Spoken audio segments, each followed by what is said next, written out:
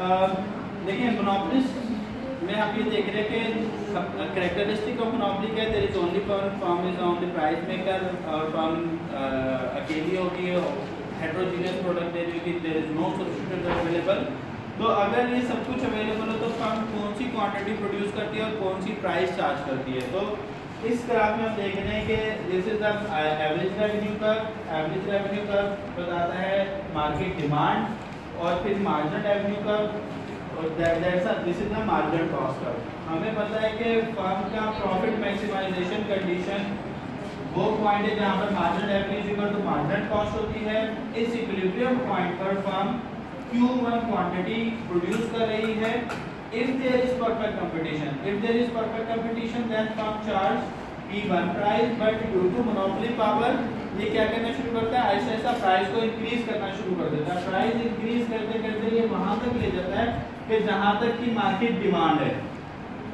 क्योंकि मोनोपोली है, अकेला प्रोड्यूसर प्रोड्यूसर है तो लिहाजा ये पी एम प्राइस चार्ज करता है। तो मैं दोबारा इसको रिपीट कर रहा हूँ कि firm is on equilibrium at point E where marginal revenue is equal to marginal cost on this equilibrium firm is producing Q1 quantity. If there is perfect competition, then firm charge P1 price, but due to the monopoly power, ये price increase करना शुरू कर देता है और कहाँ तक increase करता है equal to the market demand. Market demand पे PM price charge कर रहा है.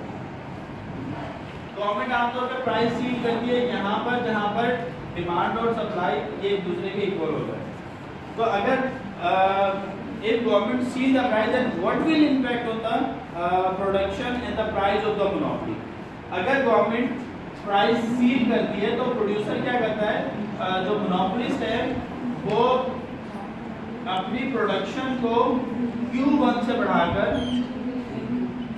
Q2 कर देगा which is equal to the market demand ठीक है यानी अगर अगर वो यही प्राइस चार्ज कर रहा था एक्स्ट्रा प्राइस चार्ज कर रहा था यानी इसी क्वांटिटी पे ये प्राइस क्योंकि गवर्नमेंट ने प्राइस ही कर दी इससे ज़्यादा प्राइस तो चार्ज कर नहीं सकता। ठीक है अगर वो यही प्राइस चार्ज करता तो ये हिस्सा वो लॉस करता। ये एक्स्ट्रा इसका डेड वेट लॉस हो जाता।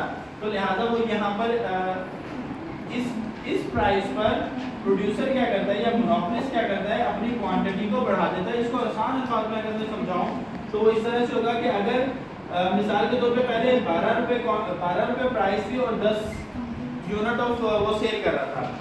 तो उसके टोटल रेवेन्यू 120 बनता था।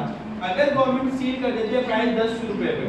तो अब मोनोपोलिस्ट क्या करता है? कि क्वांटिटी को बढ़ा के बारह कर देता है लेकिन अपना टोटल रेवेन्यू वो 120 यानी अपना रिमेन कांस्टेंट रखता है। उसका टोटल रेवेन्यू वही रहेगा वो कम नहीं होगा।